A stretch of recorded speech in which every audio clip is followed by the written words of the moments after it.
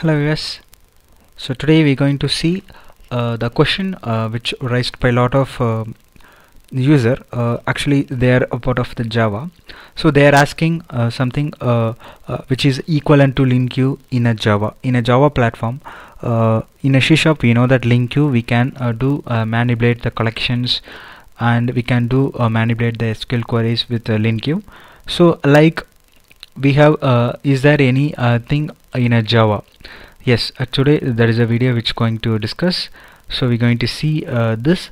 Okay before going to do that if you're a new user if you're not subscribed before my channel please subscribe. There is a button subscribe and there is a bell icon nearby subscribe. Just click that one so that you will get the regular uh, notification whenever I'm uploading the new video okay. So today uh, as uh, discussed uh, with the users they are asking what is the equivalent uh, to linq in a java.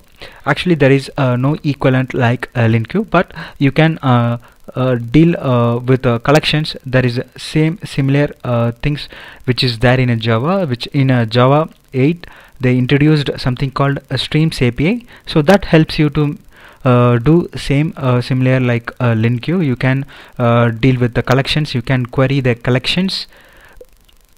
So that is it's similar like the same pattern like a and uh, if uh, you are expecting something like ORM like entity framework in a .NET uh, so uh, that uh, it will helps you with hibernate. So the hibernate ORM it helps you uh, to do to map the relation with your database SQL database uh, or an oracle uh, to your uh, code. So it, this will helps you hibernate. So in a .NET there is something called entity framework. So that's officially provided by Microsoft. So that helps you to um, do object relational mapping ORM uh, with uh, .NET. Uh, but in a Java you can go with Hibernate. This is really the standard one. So that helps you to bring the ORM you can achieve the ORM then so hopes uh, you understand uh, the what uh, the expectation like linq that uh, it will helps you with the stream API so you can go through this. This link I will share you in the description. So you can you guys can uh, go through this uh, and you can learn and you can achieve the same. Thanks for watching the video guys.